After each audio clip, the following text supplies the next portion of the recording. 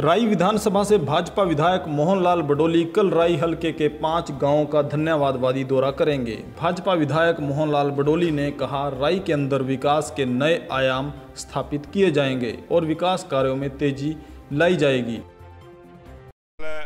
मेरा पहला प्रोग्राम शहजादपुर गाँव में है और उसके बाद मलिकपुर, ताजपुर, मेमारपुर, जैनपुर और टिकोला।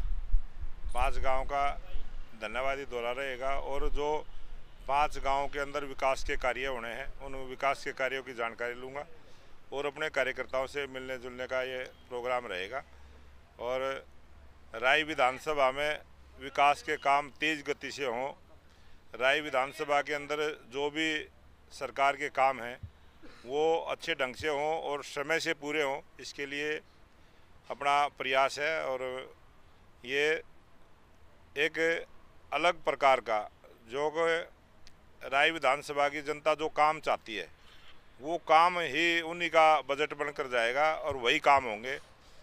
अमूमन पहले की सरकारों में हमने देखा है कि गाँव को जिस काम की ज़रूरत नहीं होती, वो भी विकास के नाम पर पैसा सरकार का खर्च होता रहा है।